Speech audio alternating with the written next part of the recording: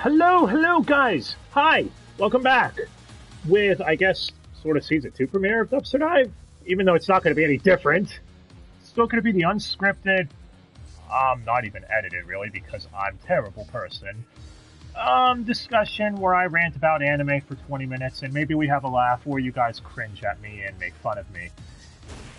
Either way, it's going to be a fun laugh. So, before I get to the topic of today's discussion, I should point out this is not what we were originally going to talk about. You see, the theme for this month was going to be anime based on fighting games. EVO was going to be this month, you see, but unfortunately it became yet another victim on the long, long list of cancel culture bullshit. But I heard the head of EVO was, um, apparently it's true? I don't know, I didn't look much into this story. Point is, though, canceling the whole event seems a bit much to me, but what can you do, I suppose? Either way, though, fuck cancel culture. I'm sure some of you out there can at least agree with me on that. It's getting out of hand, in my opinion. So, instead of looking at anime based on fighting games, fuck it, I don't care. We're going to cover anime that focuses predominantly on fighting for a little bit. Thus, we have the topic of today's discussion, Levius. An anime I was thinking would probably be nothing more than a Megalobox clone, since it's heavily themed about around, I should say. Um, boxing, but with, I guess, augments. You'll understand more when I get to it, but this show manages to stand on its own and is actually really damn good. And fortunately, I'm not the only one who thinks this, so, so I guess I won't get bullied too much for my opinion. Don't hurt me, I'm sorry if you don't like it. No, but. What is Levius, though? Let's get into that, shall we? Levius is a manga published by Ikki Comics back in 2013 by Haruhisa Nakata until November 2014, where it was ended because Ikki Comics went out of business. Does this have to happen every time we do one of these? Is, is that a thing? A company has to go under? Well, I guess it's not the anime publisher or distributor this time. Well, Ultra Jump would pick up the rights to Levius and launch it, I guess, a sort of sequel known as Levius Established, or as some people have labeled it, Levius Neo in May 2015, and to my knowledge, it might still be going to this day. So, fast forward a few years, and we have Netflix.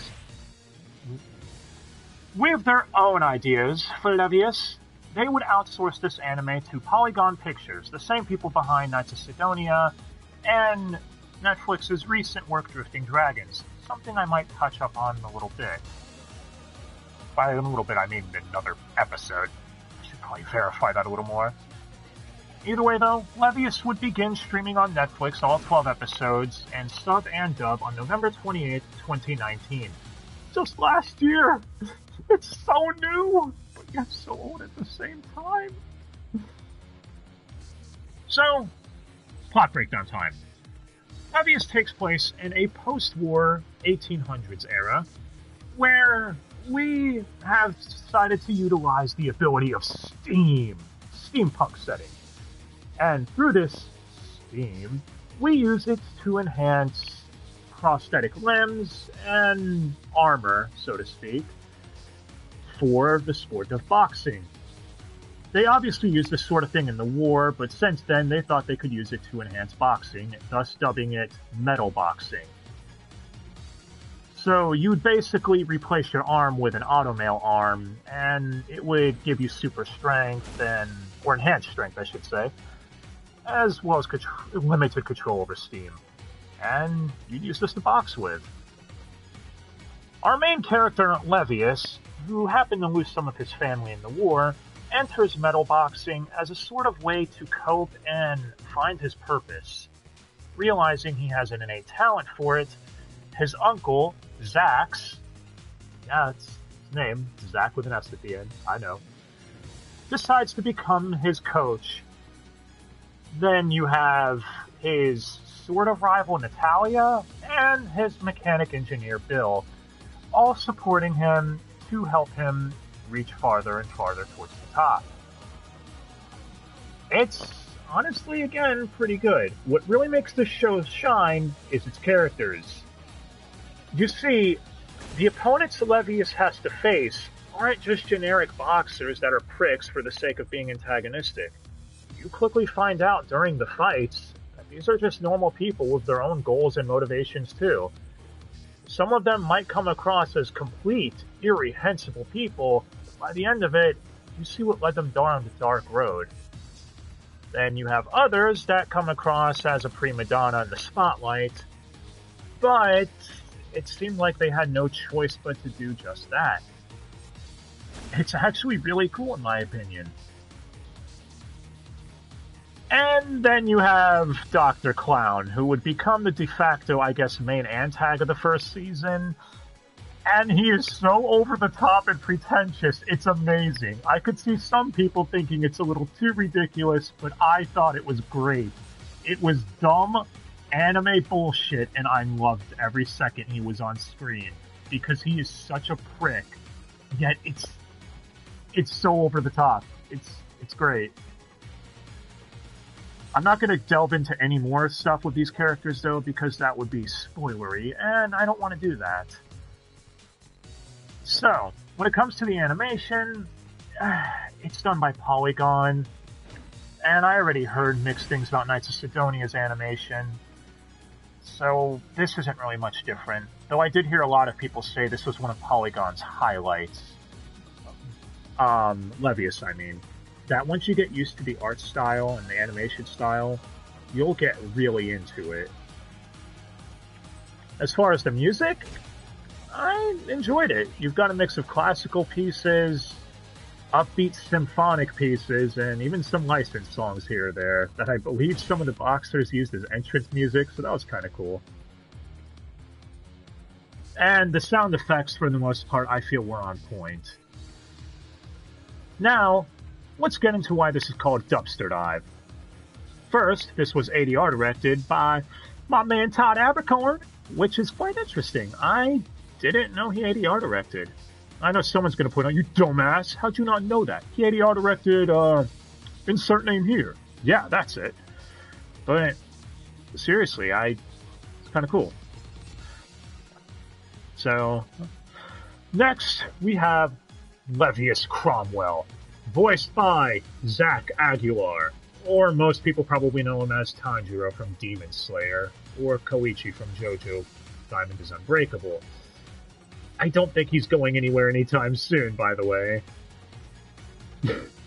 nah, but in all seriousness, I really do enjoy his acting. I think he's a very talented voice actor, and he does good as Levius.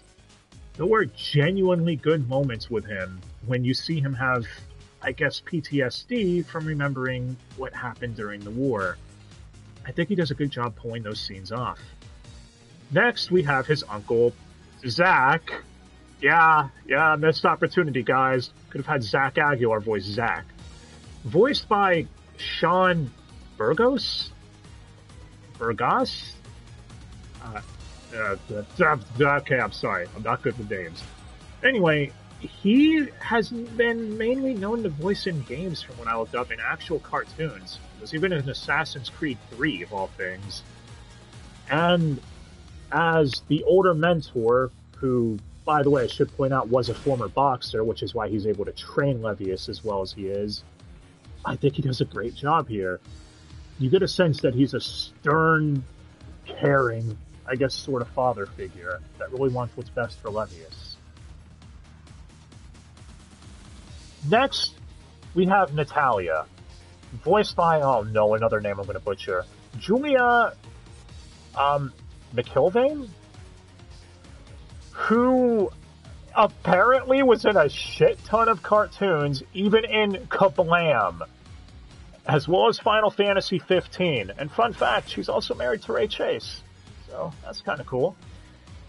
Yeah, Netflix seemed to go all out for this dub, getting A-list players, and again, it really shows.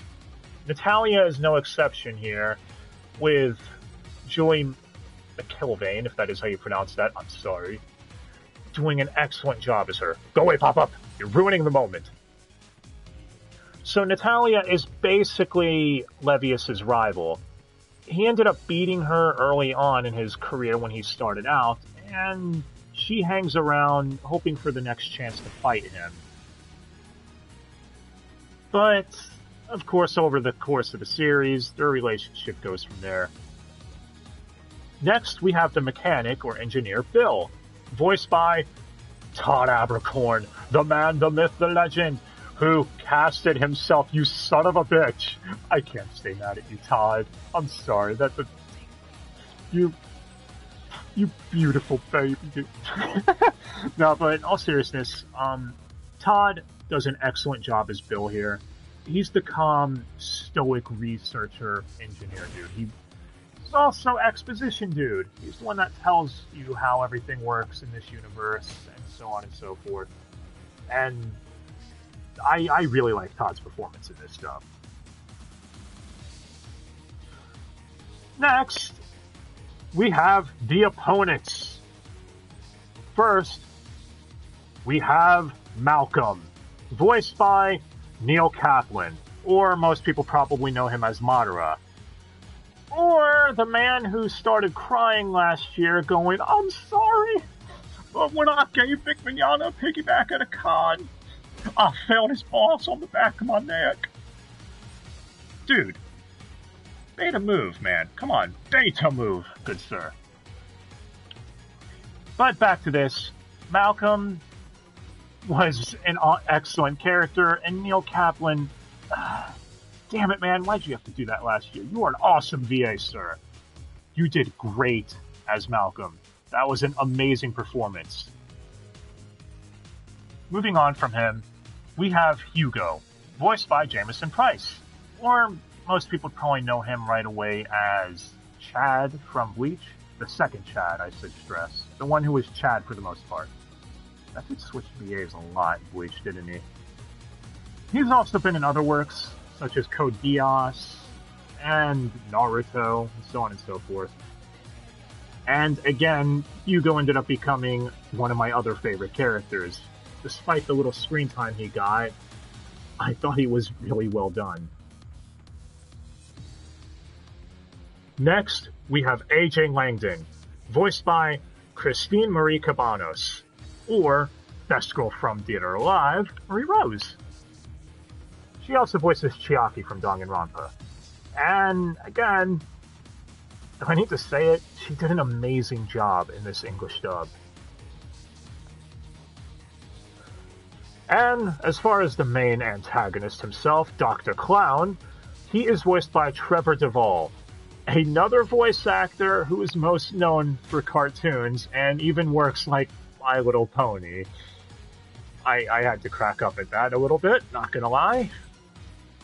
But as I said, with how over the top this character is, he did an amazing job. A lot of these voice actors I either haven't heard in a very long time or have never heard at all, to be honest. And I know some people are going to shun me for saying such, but Netflix really brought out their A game here.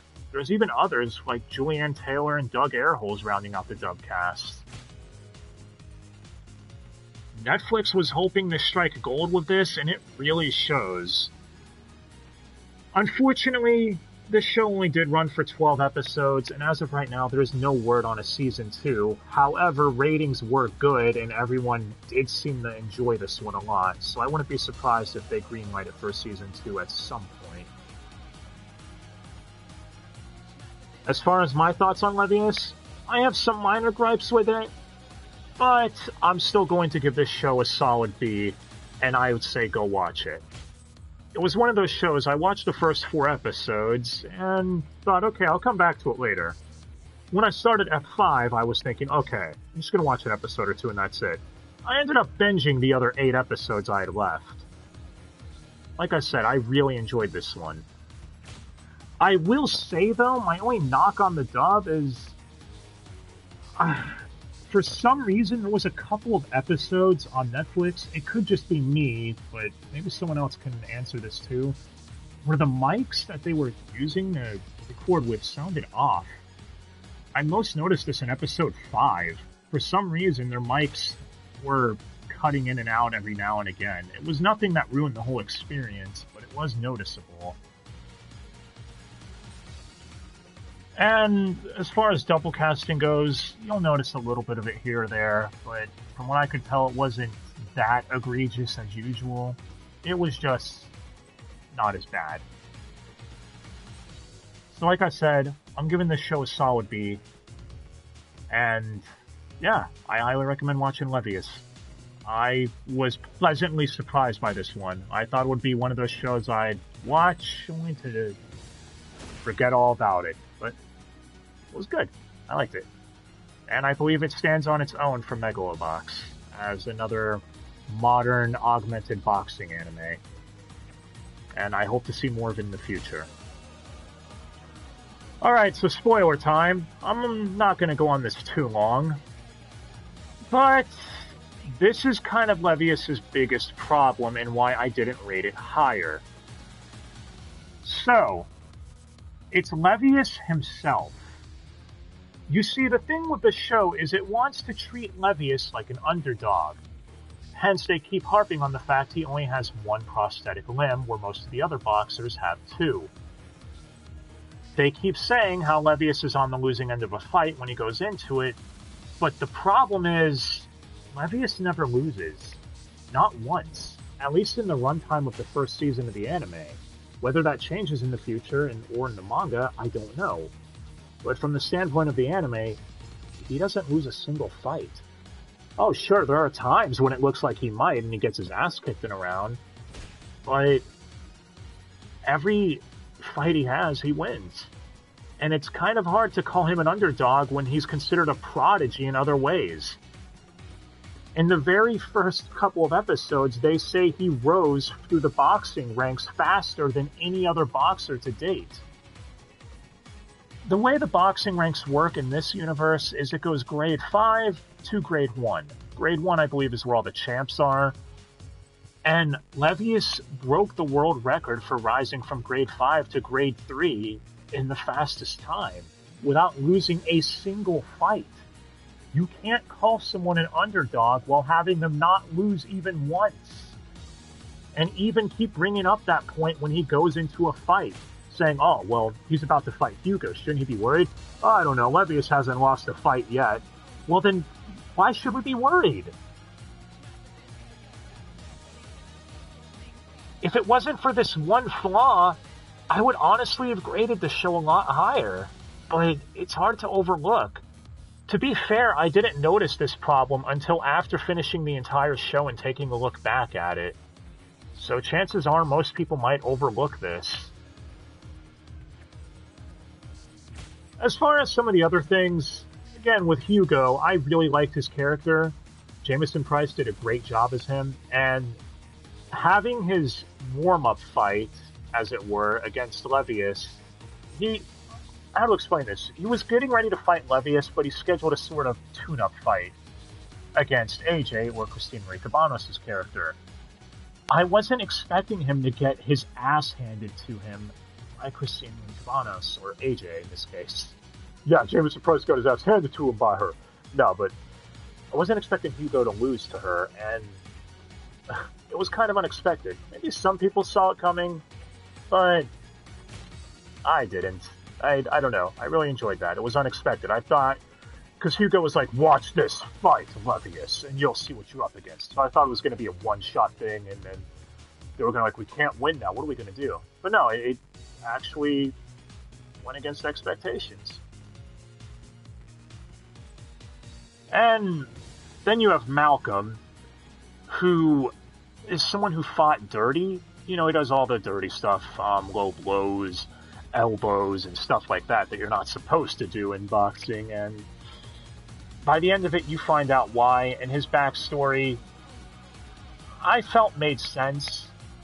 However, at the same time, it's a little odd because Malcolm is someone who literally moited people in the ring. Yeah, yeah. He defeated his opponents by cadabering them, if you catch my drift. And it's kind of hard to make that guy sympathetic. I mean, it almost works.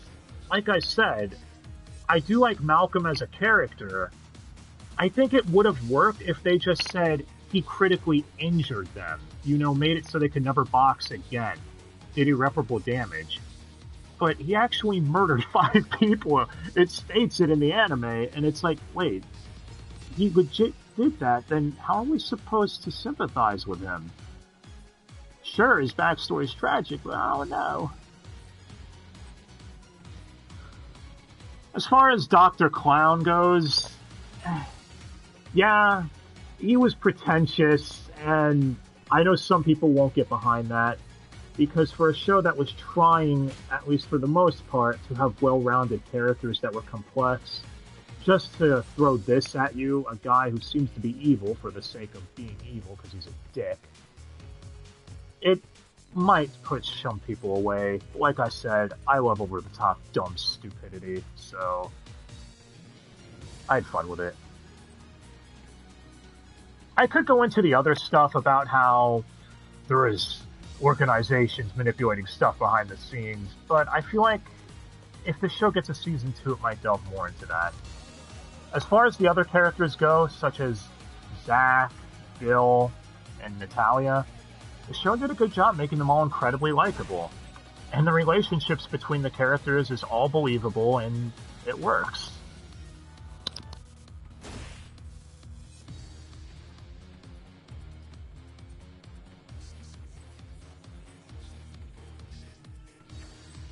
Season 2 premiere and the phone's part of the Dubster Dive. Well, it's alright. It's getting ready to wrap this up anyways. of course. Uh, wouldn't it be a fun time without that, right? But anyways, guys, thank you all so much for watching. Like I said, I give this show a solid B, and I highly recommend watching it. Please go watch it, guys.